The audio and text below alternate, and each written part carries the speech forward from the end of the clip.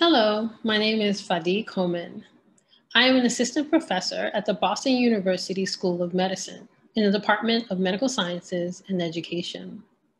I'm also a longstanding member of the New England Science Symposium Planning Committee, which brings me to the reason I am sharing this presentation with you today.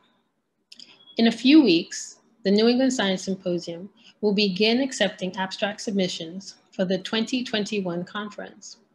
I have the great privilege of sharing some guidance and tips on writing an abstract with you.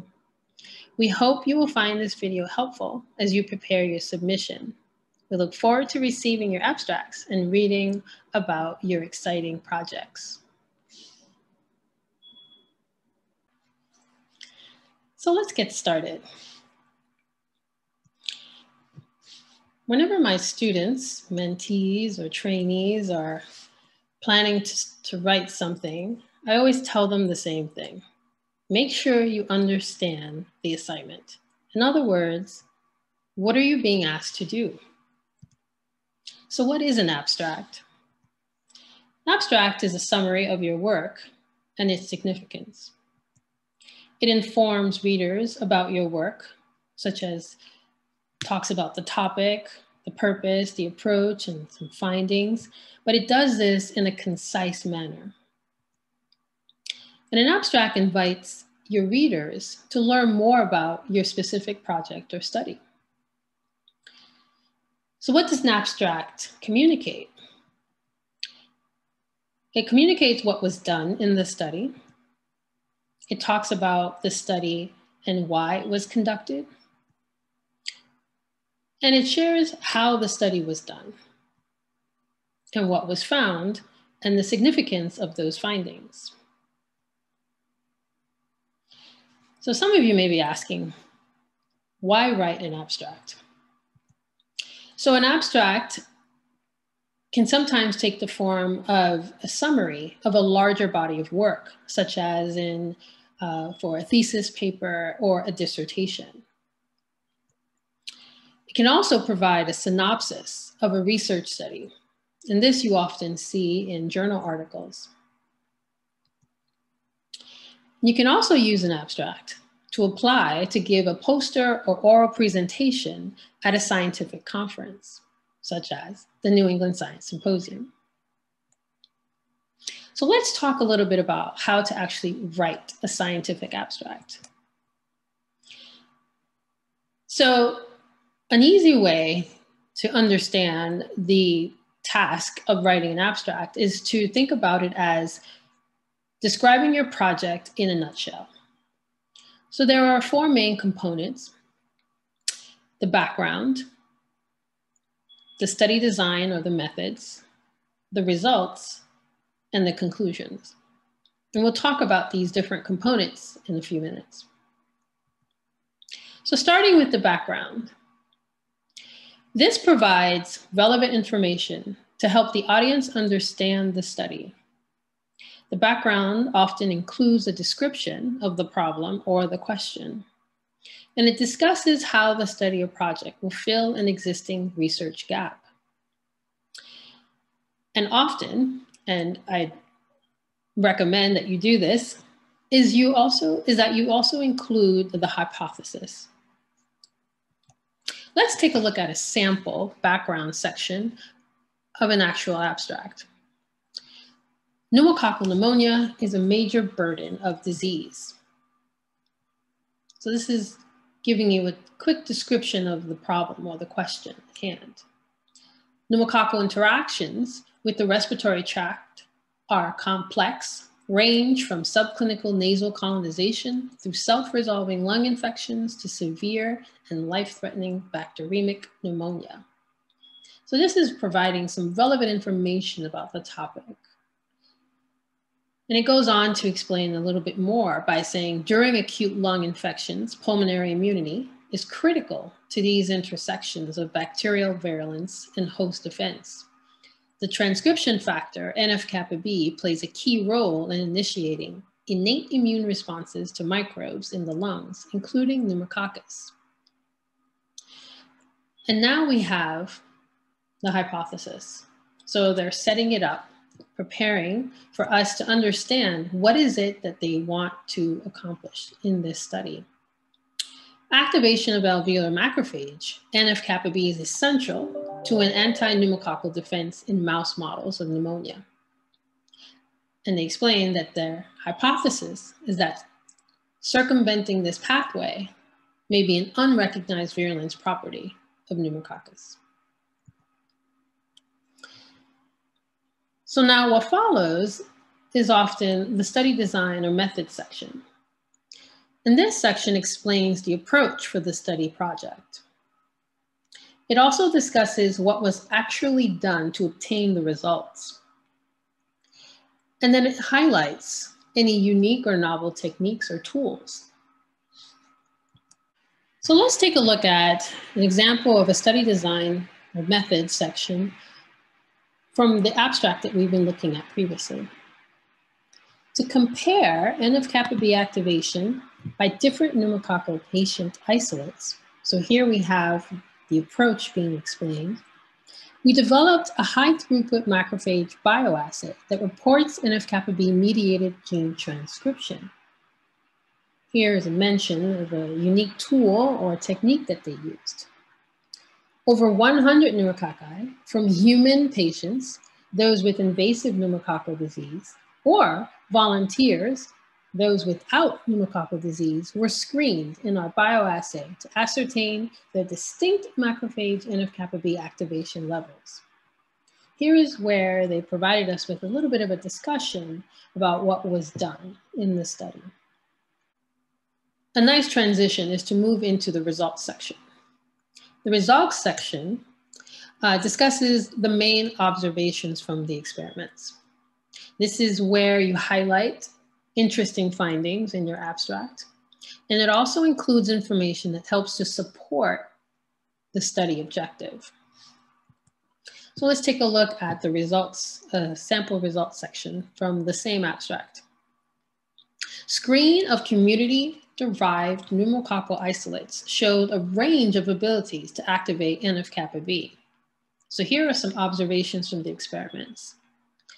Serotype matched community isolates that robustly activated macrophage NF-kappa B in the screen were stronger inducers of macrophage-derived cytokines and poorer survivors in mouse lungs in vivo. So here we have some interesting findings. And during co-infection, high and low activating isolates combined, the presence of a high NF-kappa B activating isolate enhanced host defense and elimination of a low NF-kappa B activating isolate. And this here, the author provides information that helps support the study objective. So now we get to the conclusion. The conclusion section helps to explain what the results mean, how they further the reader's understanding. Often they provide key take home messages. And then they also can expand on new significant information that was gleaned from the study. So let's take a look at the conclusion section from this abstract that we've been studying. Strong NF-kappa B responses by alveolar macrophages enhance defense against pneumococcus in the lungs. So this explains what the main, what was the main result and what does it mean? Pneumococci that avoid or subvert macrophage NF-kappa B activation are more virulent. This is significant information that was gleaned from this study and select pneumococcal elements, including capsule gene variants, determine the degree of macrophage NF-kappa B activation. So this is an important message, our take-home message. This is what you, the authors, um, would like for you to remember. If you remember if you don't remember anything else, they want to make sure that you remember this particular aspect or a particular property or a particular point that was uh, instrumental in, in uh, helping us understand how important their findings are. So now I want to talk to you about some useful tips for writing a successful scientific abstract. Know the rules have to say that this is very important and something that you should really pay attention to. The minute you get that application to uh, apply to uh, submit an abstract for a conference or to give a talk, something of that nature, it's very important that you understand what is being asked of you and then understand what are the guidelines that they've given you so that you can be successful in submitting something that would be considered. So you want to adhere to the abstract length. And this is important because the abstract tends to be uh, the section that has some of the most restrictions in terms of word uh, count or character count because it's a very specific section with uh, a very specific goal, which is to give you just a nutshell or a snapshot of the study. Um, and it often has to fit within a particular space sometimes. So it's important that you do not exceed the word count. Also, be sure to provide the requested information. So for example, some applications will ask that you specifically provide contact information and make sure it's updated. Um, also list all the authors that are involved. We all don't do science by ourselves. Um, it's a very collaborative effort, so please give everyone the credit that they deserve. And to include your institution. It's important to show that you have support from the institution and it's important to make sure that you recognize recognize them on your on in your abstract and their role in your work. And also you want to include all abstract components. So as we talked about background, the methods, the results, summary, conclusion, and so forth, these are all important elements to, to make for a complete abstract. And it's very easy for you to just kind of check off that you've actually included all of the sections. Keep your mentor involved. Writing an abstract is actually a very nice exercise for mentee-mentor relationships. And it's very helpful because the mentor can provide you with things like valuable feedback let you know what can you share, what can you not share, depending on where the project is um, or the stage of the project, or what you should, you know, include, uh, what maybe you left out, or how you might want to think about this so that you can help your audience or your readers think about it in a similar way. Your mentor can also reinforce your understanding by peppering you with some thought-provoking questions. And this is very um, helpful, especially as you prepare for giving, um, to give a talk, for example. And then your mentor can also help you stay on schedule. So it's recommended that you uh, perhaps create a, uh, an actual timetable or uh, a schedule for when you would like to have this abstract actually done.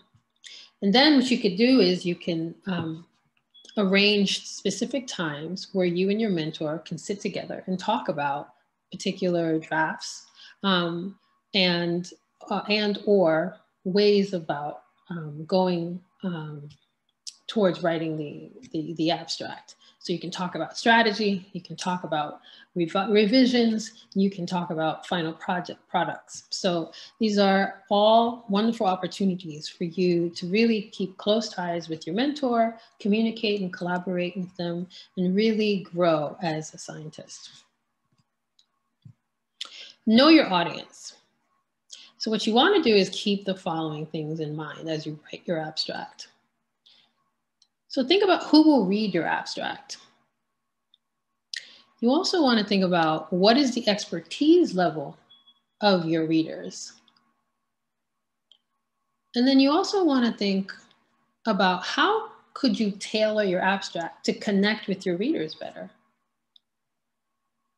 These are all helpful things to think about because they allow you to put yourself in your reader's shoes so that you can properly and appropriately reach your audience or your readers rather.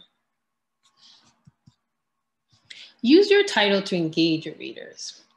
So we didn't talk about titles too much, but the title is a very important component. Um, and it's actually something that uh, can really make a huge difference um, in how your abstract is received. Remember, the abstract uh, title is actually the first thing uh, people read. And so you want to, if you can, try to get them excited about what they're about to read. So you want to think about ways in which you can come up with an effective title. So an effective title is clearly worded and informative. Gets to the point, it's clear, it's not confusing, and it helps the reader to sometimes even anticipate what will might what might be discussed in your abstract. An effective title also piques the reader's interest. And that's a good thing. You want to make sure that, you know, people want to read on, all right? And also an effective title does not mislead or overpromise. And this is important because you don't want to set your readers up for something that you have no plans to deliver on, or um, it just seems like it's not, your work isn't represented properly with the title. So you just want to make sure you keep uh, an honest and uh, favorable rapport with your readers. And that starts at the very beginning with a great title. Put your best foot forward. Always, always, always proofread your work. Proofreading your work can help you minimize grammatical or spelling errors. It can also help minimize confusion due to incomplete sentences. And it can also help to reduce inaccurate reporting of data. We all make mistakes, but if you proofread them, the chances of catching those errors are much greater, and therefore you avoid reporting something that is an error or reporting something that's just not um, just not accurate and therefore could lead to confusion or cause people to question your methods. and so we don't want that. So what I've shared with you are ideas about how and why you would write an abstract. How would you go about establishing or, or accomplishing that goal? And then some tips about ways in which you can reach your audience or your readers um, more effectively. But I want to leave you with this take home message, which is to remember to tell your story. This is your research, your project. You know it and you know it well. And what we are looking for is for you to share it with us. And so, one way to do that is to start with an eye catching title that's informative and clear, providing some background so that we all can be on the same page, and then explaining what you actually did in the study, sharing with us interesting factoids or interesting results, rather, and then wrapping it up for us and helping us understand how your work has actually helped to move the field forward or science forward. So with that, I say thank you for your time. We wish you the best and we look forward to seeing your abstract submission for the New England Science Symposium 2021 conference. And we're excited that you are willing to share your story with us. Thank you and have a great day.